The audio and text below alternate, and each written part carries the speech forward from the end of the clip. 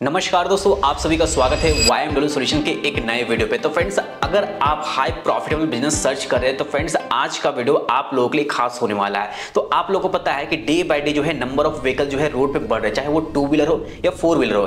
तो अगर रोड पे व्हीकल चलेंगे तो फ्रेंड्स वो गंदा भी होंगे। यानी कि फ्रेंड्स उस पर डस्ट भी आएगा। तो ऐसे में अगर आप कार वॉश का बिज़नेस स्टार्ट करते हैं तो फ्रेंड्स आपके बिज़नेस में जो है चार चाँद लग जाएगा। मैं आपको बता दूँ कि कार वॉश का बिज़नेस एक ऐसा बिज़नेस है जिसमें जो है आप हाई प्रॉफिट अर्न कर सकेंगे तो फ्रेंड्स इस वीडियो में आपको पूरा डिटेल जानकारी मैं आपको देने वाला हूँ कि अगर आप कार वॉश का बिज़नेस स्टार्ट करना चाहते हैं तो आपको कौन कौन चीज़ों की रिक्वायरमेंट रहेगी, आपको कौन से लाइसेंस लेने पड़ेंगे, आपको कितना इन्वेस्टमेंट करना पड़ता है तो आप इस वीडियो के अंत तक बने रहिए ताकि आपको इस वीडियो की पूरी जानकारी मिल सके। और चैनल पे नए चैनल को सब्सक्राइब करके बेल आइकन प्रेस ज़रूर कर ले ताकि फ्रेंड जितने भी मेरे आने वाले नए नए वीडियो है, उसकी नोटिफिकेशन सबसे पहले आपको मिले। तो चलिए वीडियो में आगे बढ़ते और बात करेंगे कि आप कार वॉश का बिज़नेस कैसे स्टार्ट कर सकते हैं।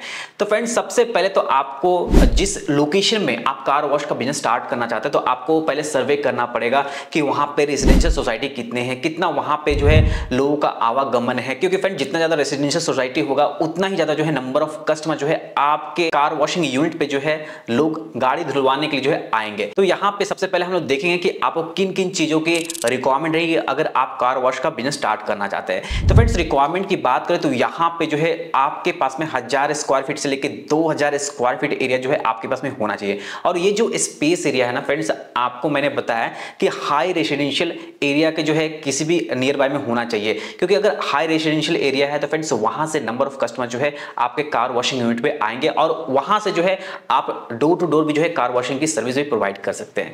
तो इसके बाद जो दूसरा रिक्वायरमेंट है, आपको जो है कार वॉश के मार्केट के बारे में अच्छी नॉलेज होनी चाहिए। ऐसा नहीं होना चाहिए कि आप जो है वैसे एरिया को चूज़ करें जहाँ पे number of car wash unit पहले से एग्जिस्ट हो। अगर उस तरह के एरिया में अगर आप ओपन करते हैं तो फ्रेंड्स हो सकता है आपके पास नंबर ऑफ़ कस्टमर ना आए। क्योंकि फ्रेंड्स पहले से ही अगर उस एरिया में कार वॉशिंग यूनिट अवेलेबल है तो वहाँ पे एग्जिस्टिंग कस्टमर पहले से होंगे तो आपके पास में क्यों आएँगे, ये सबसे बड़ा क्वेश्चन होगा। इसके बाद जो तीसरा रिक्वायरमेंट है फ्रेंड्स आप जहाँ पे भी कार वॉश का यूनिट ओपन करें, उस प्रीमाइसेस में आपको बोरिंग होना चाहिए। बोरिंग की फैसिलिटी रहेगी तो फ्रेंड्स वहाँ से जो है आप पानी बहुत ही आसान तरीके से ले सकेंगे। अगर बोरिंग नहीं है तो फ्रेंड्स आपको बोरिंग करवाना पड़ेगा। इसके बाद जो है आपको इंफ्रास्ट्रक्चर डेवलप करना पड़ेगा। इंफ्रास्ट्रक्चर में क्या क्या हो सकता है? पहले तो जहाँ पे भी आ, कार वॉश होगा या टू व्हीलर या फोर व्हीलर की बात करें तो वहाँ पे जो है आपको वॉशिंग एरिया जो है आपको तैयार करना पड़ेगा। इसके लिए जो है इक्विपमेंट स्टोरेज एरिया जो है आपको तैयार करना पड़ेगा। देन इसके अलावा जो है कुछ फर्नीचर की रिक्वायरमेंट रहेगी जैसे टेबल चेयर की रिक्वायरमेंट रहेगी। बिलिंग के लिए जो है आपको कंप्यूटर प्रिंटर आपको रखना पड़ेगा। तो फ्रेंड्स आपको देखना कि आप किस लेवल पे कार वॉशिंग का बिज़नेस स्टार्ट करना चाहते हैं उसी के अकॉर्डिंग जो है आपको यहाँ पे रिक्वायरमेंट रहने वाला है। इसके बाद जो है आपको मेन पावर की रिक्वायरमेंट रहेगी। फ्रेंड्स आपको यहाँ पे इनिशियल लेवल पे दो से चार नंबर ऑफ़ मैन पावर आपको लगने वाले हैं। तो फ्रेंड्स यहाँ पे बस आपको इसी चीज़ों की रिक्वायरमेंट रहती है अगर आप कार वॉश का बिज़नेस स्टार्ट करना चाहते हैं। तो अब हम लोग बात करेंगे कि आपको कार वॉश का बिज़नेस स्टार्ट करने के लिए आपको कौन कौन से लाइसेंस लेने पड़ेंगे। आपने बहुत जगह पे देखा होगा कार वॉशिंग का बिज़नेस जो है लोग इसी तरह से ओपन कर देते हैं बिना लाइसेंस लिए। तो फ्रेंड्स उस केस में क्या होता है? फ्रेंड्स वैसा कार बिज़नेस जो यूनिट रहता है, वो कुछ दिन चलता है, उसका बंद हो जाता है। क्योंकि फ्रेंड्स उन लोगों के पास प्रॉपर लाइसेंस नहीं होते हैं।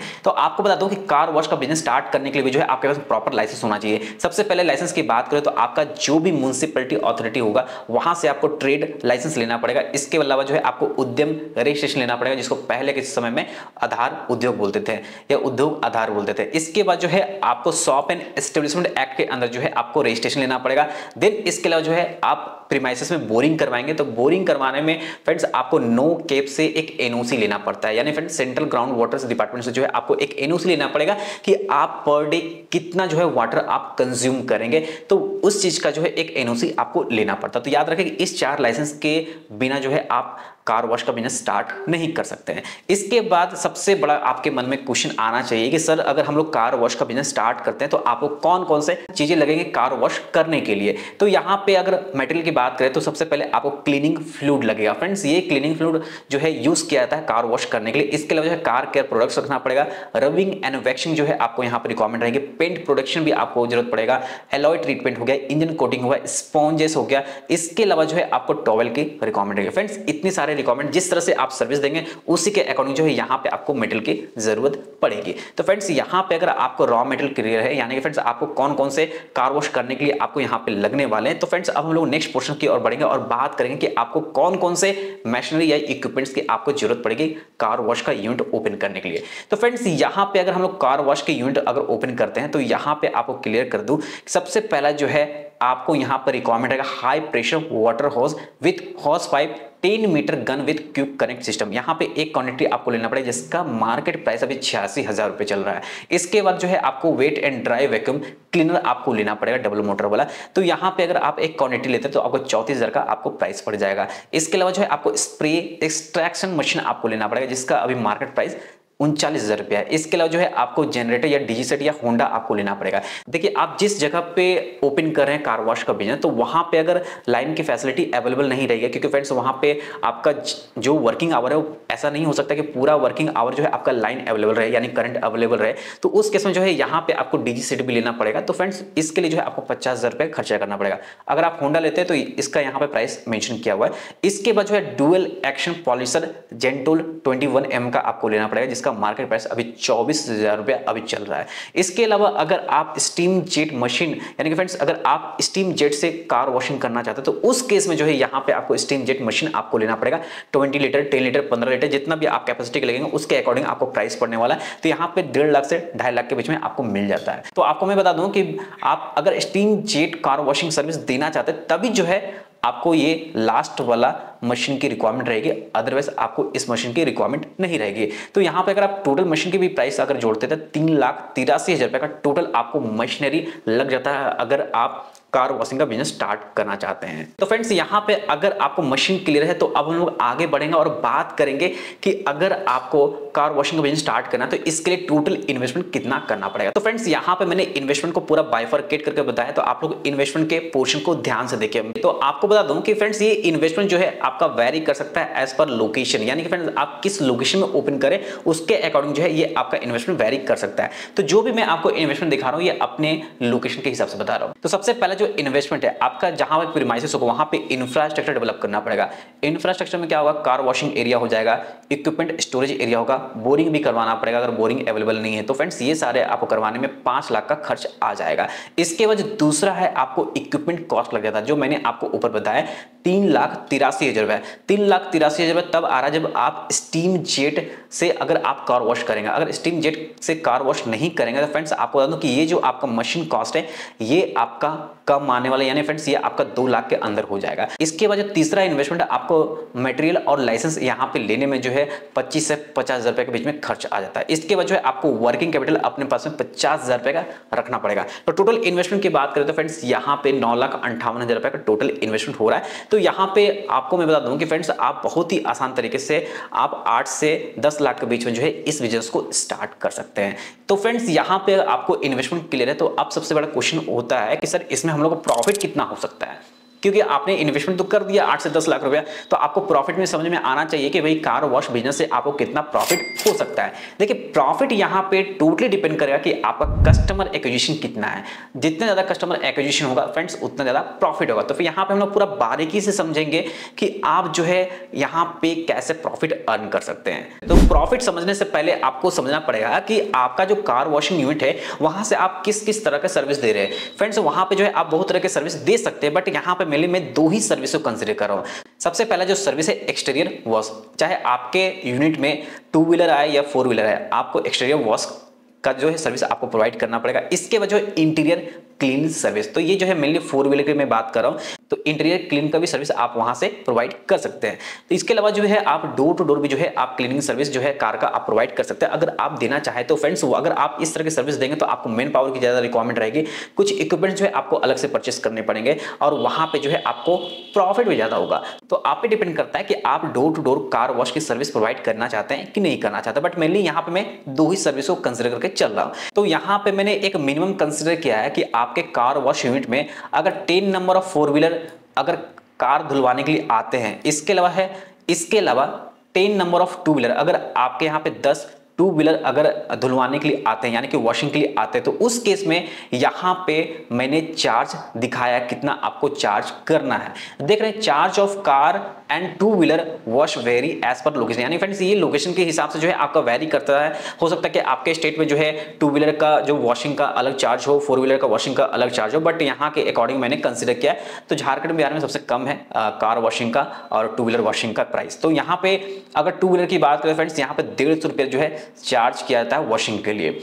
इसके बाद जो है फोर व्हीलर वॉशिंग की बात करें तो 300 से लेकर 500 वेरी करता है। इसके अलावा अगर इंटीरियर की बात करें तो अगर आप फोर व्हीलर की इंटीरियर वॉश करवाने जाएँगे तो फ्रेंड्स वहाँ पे हज़ार से पंद्रह सौ रुपए का जो है आपका पूरा वेरी करता है। तो फ्रेंड्स आपको यहाँ पे पूरा समझ में आ रहा है कि किस तरह का जो है यहाँ पे चार्ज मैंने कंसिडर किया है। तो फ्रेंड्स अब हम लोग यहाँ पे देख लेते हैं कि डेली बेसिस पे जो है आप कितना रेवेन्यू कमा सकते हैं। तो टू व्हीलर में बात करें तो यहाँ पे मैंने शुरू में बताया था कि दस टू व्हीलर अगर वॉशिंग के लिए आते हैं आपके कार वॉश यूनिट में तो उसके अकॉर्डिंग जो है आपको डेढ़ रुपये चार्ज करना है। तो डेढ़ सौ अगर आप चार्ज करेंगे तो पंद्रह सौ रुपया पर डे का रेवेन्यू होने वाला है टू व्हीलर से। यहाँ तक क्लियर हो रहा है। इसके अलावा मैंने यहाँ पे फोर व्हीलर कंसिडर किया है।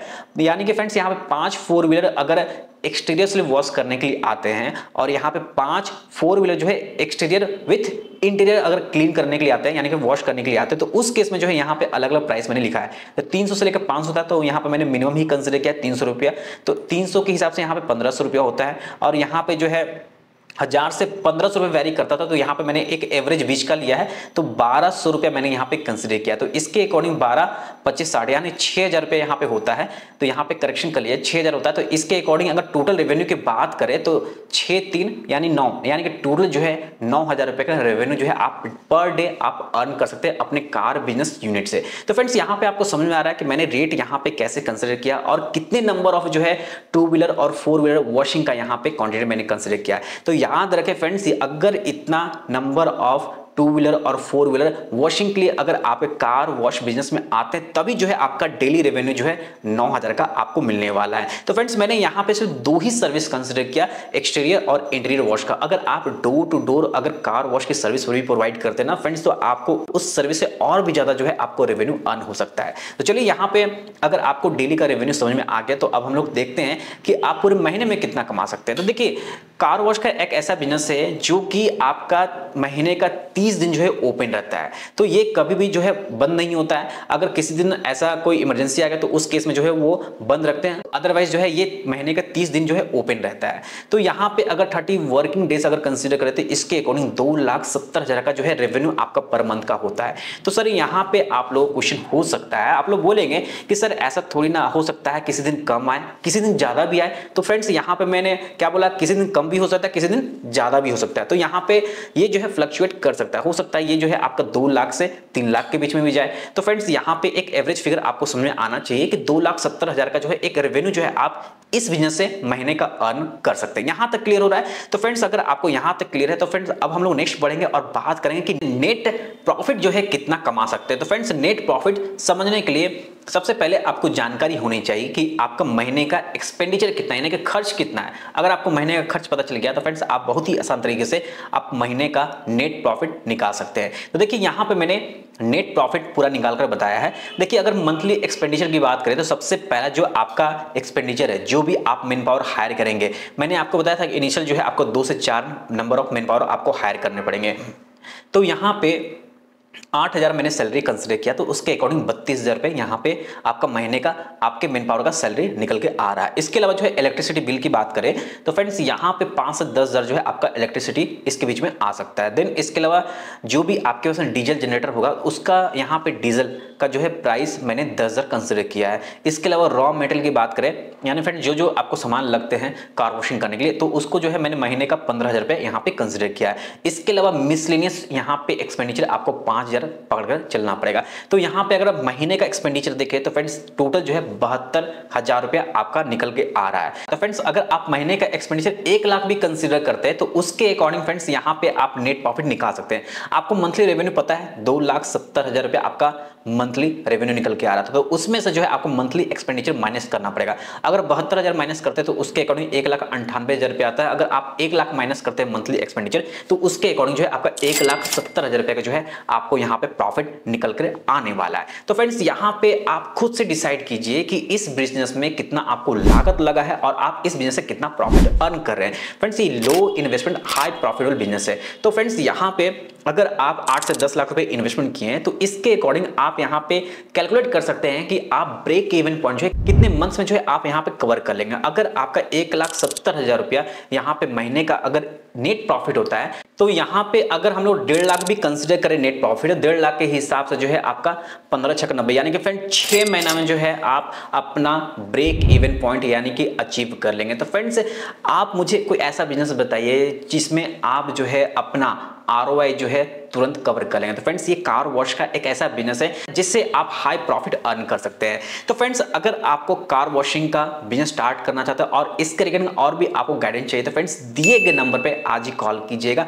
हम लोग जो है कंसल्टेंसी प्रोवाइड करते हैं और इसके अलावा आप लोगों को बता दूँ फ्रेंड्स कि अगर आपको किसी तरह के बिज़नेस कंसल्टेंसी चाहिए तो friends Y M W solution private limited company जो है आपके साथ हमेशा खड़ा है।